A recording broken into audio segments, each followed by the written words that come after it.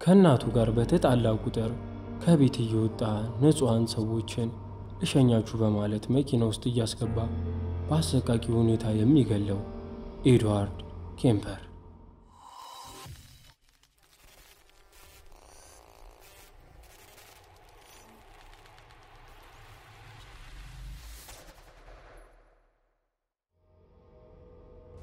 ይህ ጎልማሳ ሙሉ ስሙ ኤድመንድ ኬምፐር በመባል ሲታወቅ ገና ከለጋ ዕድሜው ጀምሮ በእናቱ ያልተገባ ጭቅጭቅና መጥፎ ባህሪ ተመርዞ ነው ያደገው።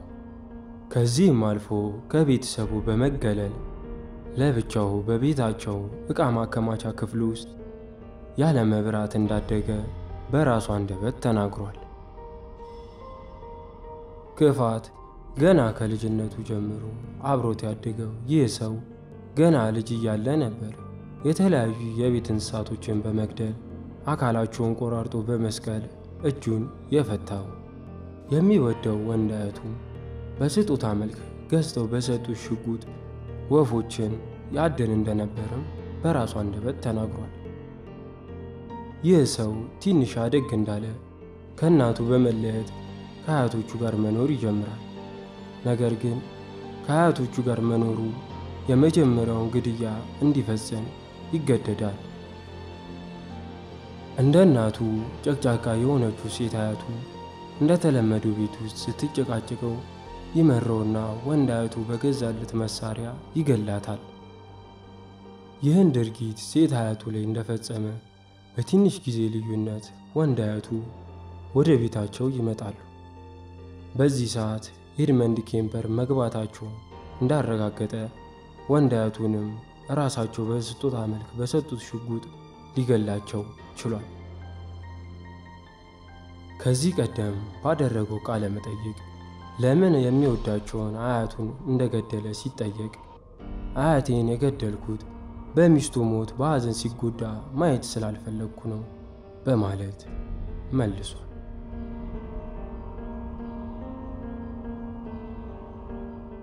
ከአያቶቹ ግድያ በኋላ በፖሊስ ቁጥጥር ስር ውሎ ገና በ15 ዓመቱ የአእምሮ ህሙማን ሆስፒታል ይገባል። ከዛም ለዓመታት ታክሞ በ21 ዓመቱ ወደ ጤንነቱ ተመልሷል ተብሎ በድጋሚ ወደ እናቱ ቤት ተወስዶ ከእናቱ ጋር እንዲኖር ተደረገ። ከልጅነቱ ጀምሮ ከሚጠላት እናቱ ጋር ድጋሚ ሕይወት የጀመረው ኬምፐር ከቀን ወደ ቀን ወደ ድሮ መጥፎ ማንነቱ መመለስ ይጀምራል።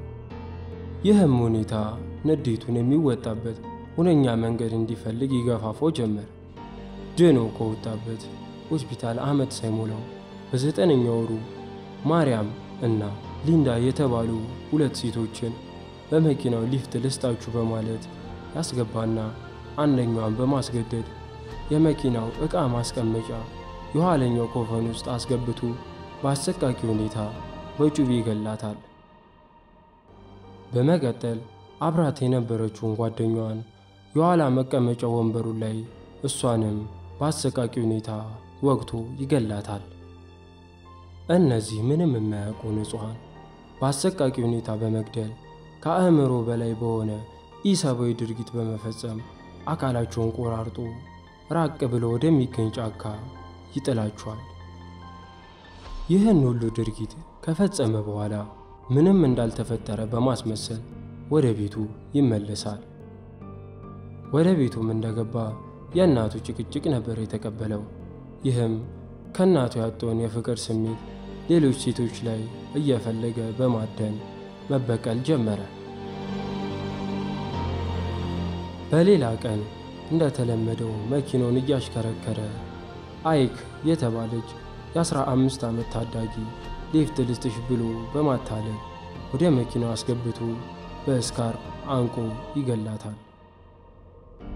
አንቆ ከገደላት በኋላ አካሏን ዘግናኝ በሆነ ሁኔታ በመቆራረጥ አናቷን ወስዶ ፍሪጅ ውስጥ ያስቀምጠዋል። የእነዚህን ምንም የማያውቁ ሦስት ንጹሐን ሬሳ ያገኘው የሀገሪቱ ፖሊስ ፍለጋውን ያጧጡፈዋል። ነገር ግን እሱ ይሆናል ብሎ ማንም አልጠበቀም።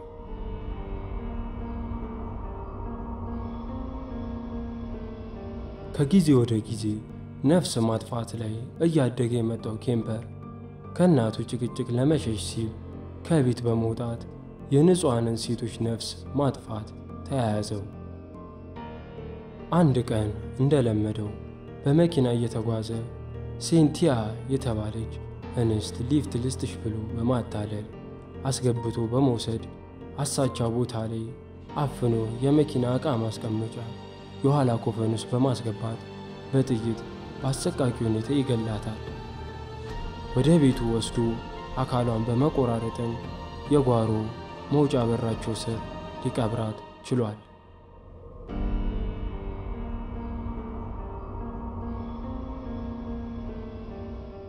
ነፍስ ማጥፋት እንደ ጨዋታ እየቀለለው የመጣው ኬምፐር አሁን Jury Room ወደሚባል ፖሊሶች ወደሚያዘወትሩበት ግሮሰሪ እየሄደ ተጠቃሚ በመሆን ከዛም ባለፈ እየጋበዘ ከፖሊሶቹ ጋር ቅርበት በመፍጠር ስለ ወንጀሎቹ ማጣራት ይጀምራል።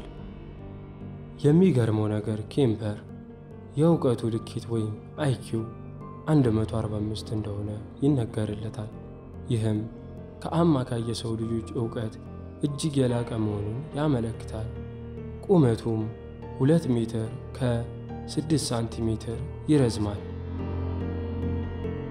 ፖሊሶችን የቅርብ ጓደኞቹ ያደረገው ኬምፐር እርሱ ላይ ምንም የሚያስጠረጥር መረጃ እንዳልተገኘ ካጣራ በኋላ ወደ ቀድሞ የነፍስ ማጥፋት ድርጊቶቹ በመመለስ ሌሎች ሴት ንጹሐን ዜጎችን ማደን ይያያዟል።